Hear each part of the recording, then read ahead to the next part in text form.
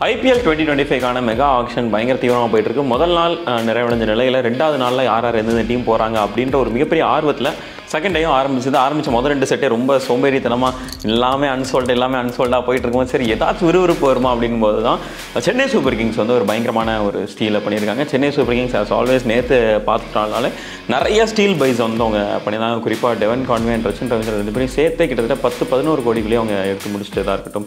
இல்லை அஸ்வினை திருப்பி Chennai super Kings கொண்டு வந்த விஷயமா இருக்கட்டும். அட் சேம் டைம் ராகுல் திரிபாதியை பை பண்ண விஷயமா இருக்கட்டும்.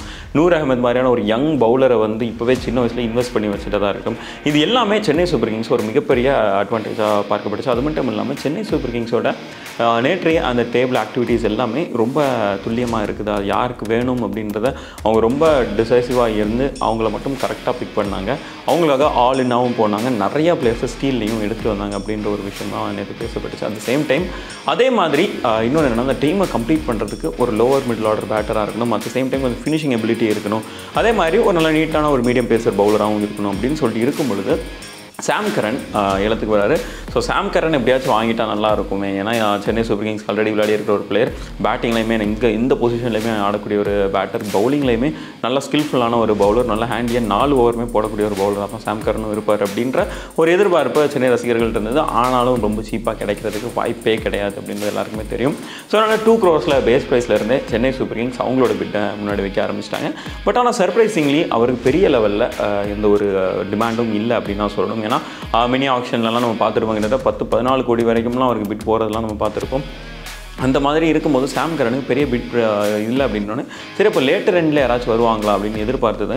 But Chennai Super Kings two point four க்ரோஸ்க்கே அந்த டீலை சீல் பண்ணுறாங்க பட் இருந்தாலும் அதுக்கப்புறம் தான் இன்னொரு இது வருது என்னென்னா பஞ்சாப் கிங்ஸ் பஞ்சாப் கிங்ஸ்க்கு இப்போ ஆர்டிஎம் இருக்குது. இப்போ அவங்க ஆர்டிஎம் யூஸ் பண்ணாங்க அப்படின்னா டெஃபினட்டாக சாம் கரனோட ப்ரைஸை பயங்கரமாக ஹையாக போகிற மாதிரியே தான் இருக்கும். ஏன்னா கன்சிடரிங் நூறு அஹ்மதுக்கு ஃபைவ் க்ரோர்ஸ்க்கு நேற்று சென்னை பேசியிருந்தாலும் ஆர்டிஎம் யூஸ் பண்ணதுனால அதை டென் க்ரோர்ஸுக்கு மாறுறது நம்மளால் பார்த்துப்போம். ஸோ கிட்டத்தட்ட டபுள் த ரேட்டை நூறு அஹ்மதுக்கு அவங்க இன்க்ரீஸ் பண்ணியிருந்தாங்க. பட் ஆனால் சாம் கரனுக்கு எவ்வளோ தூரம் போவாங்க அப்படின்ற யோசனை இருக்கும்போது பஞ்சாப் கிங்ஸ் மறுபடியும் ஒரு ஸ்டெப் பேக் பண்ணி நோ நோ நோ எங்களுக்கு அதெல்லாம் வேணாம் அப்படின்னு சொல்லிட்டு ஆர்டிஎம் அவங்க யூஸ் பண்ணாமல் போனது மிகப்பெரிய சர்ப்ரைஸாகவே இருந்தது. ஸோ பஞ்சாப் கிங்ஸ் ரெண்டாவது முறையாக சூப்பர் கிங்ஸ்க்கு சப்போர்ட்டிவான ஒரு டெசிஷன் எடுத்திருக்காங்க அப்படின்னு சொல்லிட்டு இப்போ சோஷியல் மீடியாவில் பயங்கரமாக பேசிகிட்டு இருக்காங்க. குறிப்பாக நேற்று ரச்சன் ரவீந்திராவை பஞ்சாப் வந்து எடுத்திருந்தாங்க. பட் சென்னை வந்து ஒரு ஆர்டிஎம்மை யூஸ் பண்ணியிருந்தாங்க.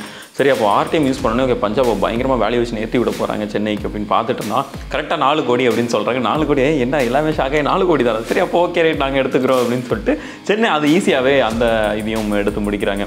ஸோ இப்போது பேக் டு பேக் ரெண்டு சூப்பரான ஸ்டீல்ஸை வந்து சென்னை சூப்பர் கிங்ஸ் நடத்தியிருக்காங்க அண்ட் இப்போது ஓரளவுக்கு இந்த ஸ்டார்டிங் லெவன் இதுதான் அப்படின்ற ஒரு ஐடியாவும் கிடச்சிருச்சு.